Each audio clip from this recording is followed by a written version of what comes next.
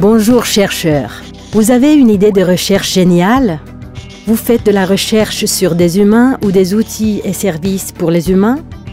Autrement dit, vous allez conduire des entrevues ou autres analyses chez les humains de différents âges au nom de la science? Super. Mais un moment, avant même de commencer, vous devrez voir si une évaluation d'intégrité scientifique est nécessaire.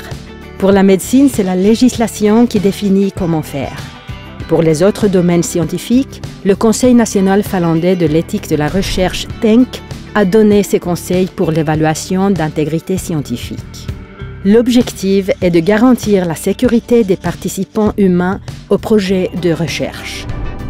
Une évaluation d'intégrité scientifique n'est pas toujours nécessaire, mais si les participants sont exposés à des stimuli forts ou si la recherche présente des risques à leur intégrité physique, réfléchissez bien aux dommages physiques et mentaux potentiels.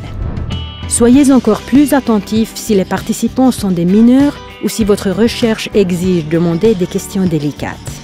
Et bien sûr, il faut toujours traiter les informations personnelles avec soin et responsabilité. Chaque participant doit toujours être informé de la nature de la recherche en question. Parfois quand même, les questions de recherche exigent de faire exception à ce principe. Dans ces situations, une évaluation d'intégrité scientifique est obligatoire. L'évaluation d'intégrité scientifique est effectuée avant de commencer la recherche. Il s'agit de considérer les risques éthiques qui puissent se poser lors de la recherche. Vous ne pouvez pas obtenir cette évaluation plus tard, alors il est très important de la faire avant de commencer la collection du matériel. N'oubliez pas que l'intégrité de la recherche est toujours la responsabilité de la personne qui conduit la recherche. Souvent, les financeurs et les éditeurs exigent que l'évaluation d'intégrité scientifique soit faite.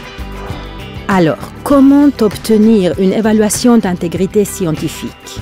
Le comité d'éthique de la recherche dans les sciences humaines de l'organisation où la recherche est menée peut la livrer sur demande. Si vous ne trouvez pas comment le contacter, demandez-nous. Voir les avis du Conseil national finlandais de l'éthique de la recherche TENK sur l'évaluation d'intégrité scientifique dans les sciences humaines. Et encore, n'attendez pas la dernière minute.